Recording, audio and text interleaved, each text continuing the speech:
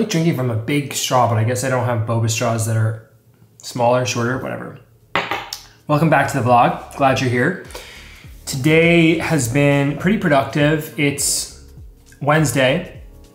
Last I spoke to you guys, I was in Miami. Miami was a great time. Got back really late on Sunday night slash Monday morning. It was like 1.30 because we were delayed due to a passenger dispute with the flight attendant and I'd never really been part of something like that before. Basically, the woman who was dripping in Gucci and Cartier bracelets, I was like, is that me?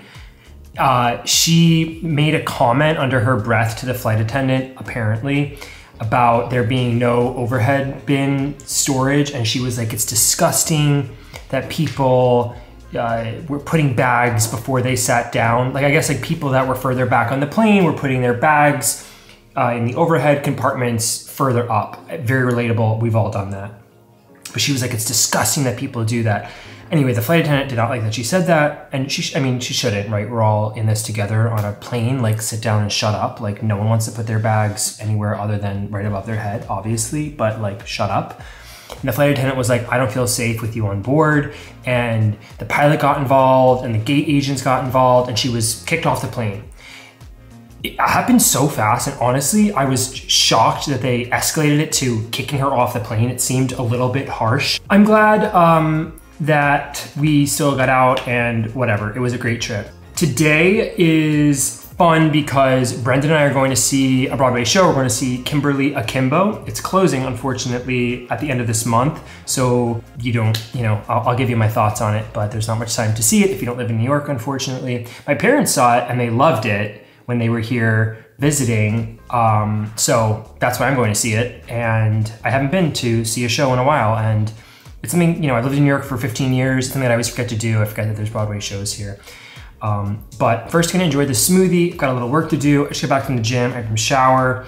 Um, if you're not already subscribed, please take the time right now to hit the subscribe button and give this video a like. It really helps the channel grow. I know a lot of you watch my videos every single week, but you're not subscribed. I can see in my analytics the percentage of people who like just return but aren't subscribed. And while I very much appreciate you watching, it really helps my channel grow and get more visibility if you subscribe. So I would appreciate if you take the time to do that. After I finish working for the day, I'm gonna I wanted to like, I started to go through my closet a little bit and I noticed that I've been gravitating towards certain bags more than others. So I wanted to show you guys some of my favorite spring luxury bags um, and that I've been incorporating more into my looks and why I like those bags. And yeah, I think that that'd be a fun thing to do. So while I'm getting ready today, I'm gonna show you guys all those bags. But for now, let's finish this smoothie and get to work. And then when I'm showered and kind of more presentable, we'll go through the bag stuff.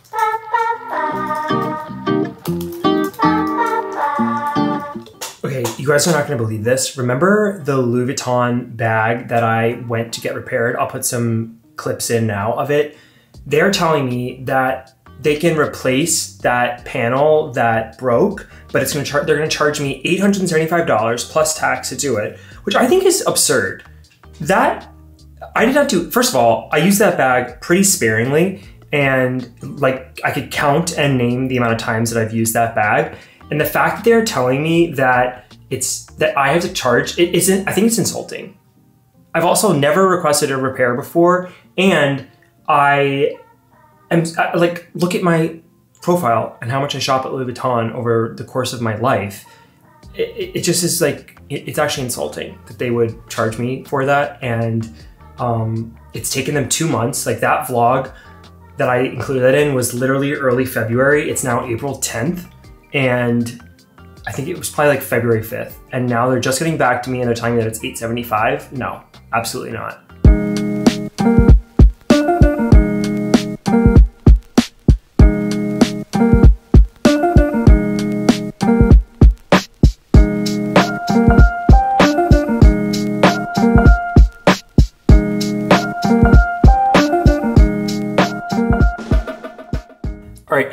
The next day. I ended up working a little bit longer than I thought I was going to yesterday, so I didn't have a chance to go over the bags with you, but we're gonna do that now. First, I wanna tell you about Kimberly Akimbo. It was I'm not kidding you, probably one of my top five favorite Broadway shows I've ever seen in New York City.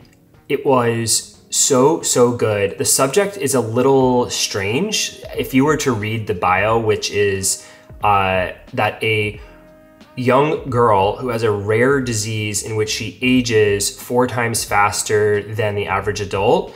Uh, it's about her time in school and family trouble and just navigating this really strange life. The life expectancy of someone with that disease, which, by the way, I forget the name of the disease, but it's so rare. There are fewer than a thousand cases a year in the United States.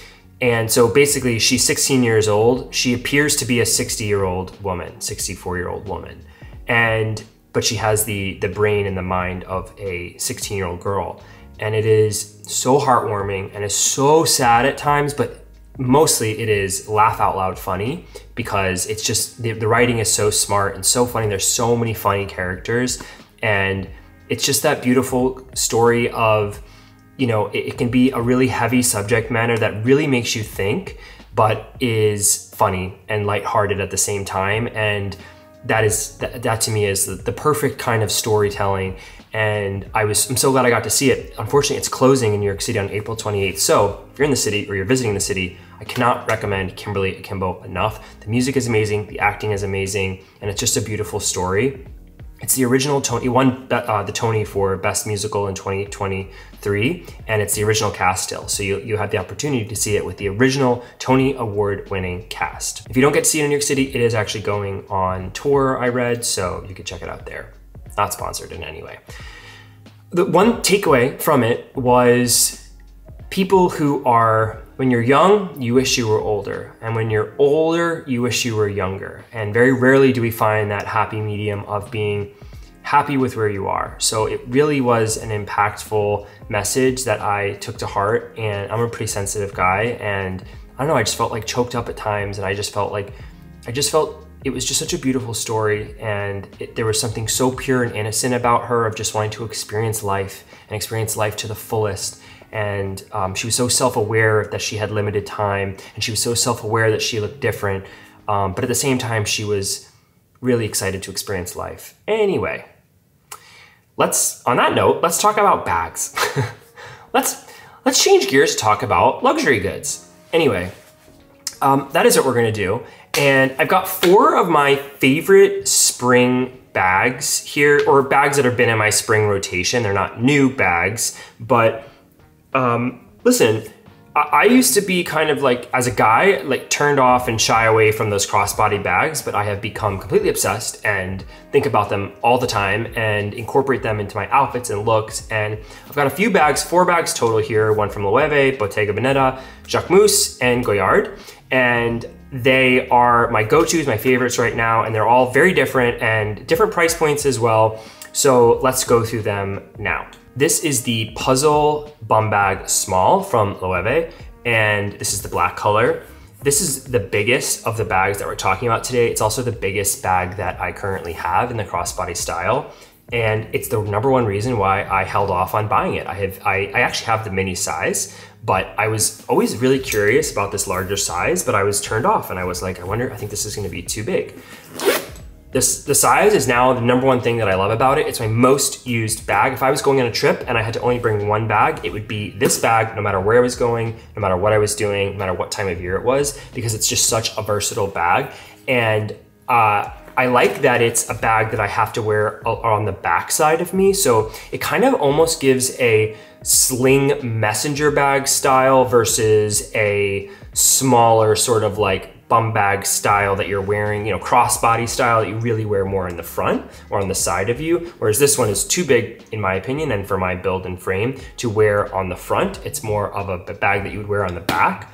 And the size is just super convenient to have like an all-around bag. You know, if you if you're going to the gym and you all you need is a bottle of water, you can fit a, a pretty big size bottle of water in here. It fits, uh, you know, a, a, a camera could go in here for your day. Oh my God.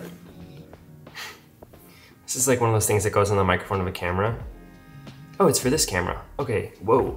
That fits in it. The design of it, listen, puzzle bags are so beautiful. If you if you love the puzzle bag design, you're gonna love this one. Um, it's just got this, you know, beautiful stitched together design, uh, which is iconic to Loewe and the puzzle. And I'm just a sucker for it. I think it's so beautiful. And yeah, I, I think that if you're looking for a bag that is on the bigger side, which I think I think makes it a little more masculine as well. So if that was a concern for you, then I, would consider this bag. Um, this bag retails for 2,400 US dollars, and which honestly is pretty good given the size and considering that what I'm also going to show you and the prices for those. So I think it's a good value and it's really durable and uh, and yeah, it, go, goes with so many looks. This next one is from Bottega Veneta and this is the cassette bag.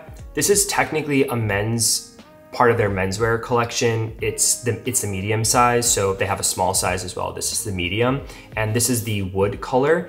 I like this bag because I had I did not have a brown leather bag and that's what I was looking for because in the spring and in the summer that is I, I want I wanted a bag for daytime that wasn't black and that wasn't a, a, darker color so I purely just wanted was drawn to this bag or was looking for a bag that was lighter and this is the one that I chose the, the contrasting stitch is so beautiful to me and just makes it a little more interesting than the, the solid ones that have the, the color match stitching. The, it has a magnetic clasp opening and then the inside is decently sized. I will say that this bag looks like it would be bigger or would hold more, but because of the I think they call it intreccio, intreccio, the, the weaving of it, whatever, makes it a little bit thicker. So you can see that the inside is not as big. So in here, you're getting a phone, you're getting your AirPods, uh, you're getting maybe a couple of smaller accessories, but uh, it's not really gonna be saving the day in terms of size. And I don't love that it's just magnetic. I wish it had something a little more secure because if you're not, if you're in a big city or you're somewhere where you're concerned about pickpocketing or theft, like that's really easy to open and yeah, you get it. So uh, it does have the zippered pocket inside, which is convenient for preventing theft or just keeping things a little bit more secure. But this is this bag looks great. It has an adjustable strap and it goes, it goes, it's a good length. Sometimes I find that crossbody bags do not have, uh, the strap is not long enough, but this one I do feel is a good length and is just perfect with, with summery spring fits even into the fall. Honestly, obviously all these bags are good for season, all seasons. I'm just telling you what I'm more drawn to. But the quality of this and the craftsmanship of this is really high quality. The leather is thick and sturdy and feels durable. And I haven't gotten any scratches on this bag. And I brought it to the beach. I brought it um, to pool. Oh, here's, oh, it's a penny and five euro cents. Okay. Guess I threw pennies in here. It was it was conne it was uh, connected to the magnetic clasp of this. Anyway, that's the Bottega cassette bag. This next one is from Jacquemus. This is the La Cuerda bag in a suede khaki green color. Got this one in France at the La Cuerda store. So, sorry, at the Jacquemus store. So there's a bit of uh, a nice memory there for me. And this bag is very affordable. This bag was around 700 US dollars. They don't have this color online anymore, although you can find it on third-party retailers and a lot of them are actually on sale. Mr. Porter even sells this bag uh, they also make it in a in this in the vertical sized, if you if you know what I'm talking about. So uh, anyway, what was what immediately drawn drew me to the bag was the color. I'm upset. This is my favorite shade of green. If I could live in this world of green, I would. I like the big chunky canvas strap, and I like the way that that looks with the green, and I like the big chunky zipper pull as well. Uh, that, that to me is a nice detail. Inside, you're getting a pretty big uh, this is, I think that the, the size of this bag inside is actually bigger than the Bottega just based on the Bottega material was a little bit thicker.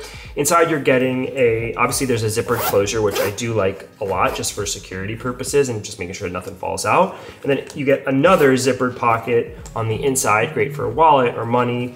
And then you have another pocket here too, so that's nice. But then otherwise it's just the big canvas interior uh, which honestly would probably stain if you were throwing anything that could stain it, like makeup or something like that.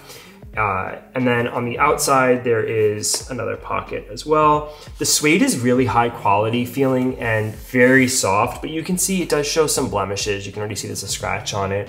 And what I did notice is that, I don't know if you can tell, but it, it kind of, it kind of has creased right here. And yeah, you can see that. And it just it hasn't kept its perfect shape. Like you can see the back is kind of like the perfect shape, but the inside just just creased for whatever reason. And I don't, I don't know why. It's, it's, it's like, was something pushing on it or something? I don't know. I haven't used this bag too much to be honest. And then in terms of the, the uh, hardware, so you've got this, this carabiner here on the outside, but I don't know what, I guess you could attach keys to it. And then the strap is not completely removable, but for whatever reason, this one side does come off. Is that just design? Because I don't know what you're doing with just one size. I'm sure it's not design. Leave a comment if you know what that is for. But there's, yeah, anyway, nice detailing on this. And for the money, I think this is a great value. I think it's a great bag. It's one you're not gonna have to worry about too much. The suede obviously is going to be a little bit more susceptible to scratches and damage. So if you can get this in either a cotton canvas or they offer it in just calfskin leather as well, I would go for that if you're looking for something that's a little more durable. But if you can be careful and you, you love the look of suede, which I totally understand, then go for it. The price is right and uh, you're getting a, a, designer bag for uh, a pretty good deal. Lastly, this is the Goyard Cap Vert bag, or also known as the camera bag if you're searching for it or doing research. This one I got in London, and the retail for this one in US dollars is around 20, 2,500 US dollars. I have to, I think it is. I'll put it up on the screen if it's different. But the, uh, obviously this is just really a brand play. If you love Goyard and you love the print, then you're gonna love this bag. I, I have this, this is the black uh, colored canvas. I have this in the wallet as well, the Victoire wallet, and I like that that this is a match set if I ever wanted to be totally matched out with my Goyard. The the, the bag is a great size. It's a little bit bigger than the Jacquemus. Inside, it's zippered. Inside, you're getting one pocket. You get the iconic yellow Goyard yellow inside, and this this is gonna fit a lot of great. Uh, this is gonna fit a lot of your everyday carry. This is gonna fit your phone. This is gonna fit your wallet a camera. I, I, carried around the DJI Osmo Pocket 3 in this while I was in London. The strap is not removable, which is kind of annoying to me because this would be such a perfect little tech bag or accessory bag that you could throw into your backpack or something. But I do love that the strap is thinner. In terms of, yeah, this is the thinnest out of the bags that I've shown today. Like I'll just show you compared to the Bottega. You can see that those straps are pretty, pretty different. The Bottega is at least double the size. Oh, no, it's double the size. So I would, I would say this is probably about a half inch strap and the Bottega is probably a little bit less than an inch strap. Um, so it just gives a little bit of a cleaner look, which you'll see as I'm styling it on myself. But this is a, a really nice bag. It's a high quality, nicely designed bag. And it, it's a neutral, I find. Like it goes with this outfit really nicely. It goes with black really nicely.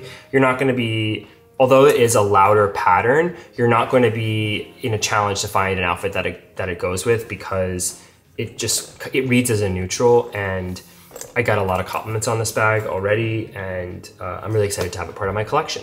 That's it for today's vlog. Thank you guys so much for watching. Again, if you're not subscribed, I would appreciate you guys subscribing. Like this video if you like the content and stay tuned for the next one. There's a lot of exciting things going on uh, in my life and I'm excited to share with you. See you guys.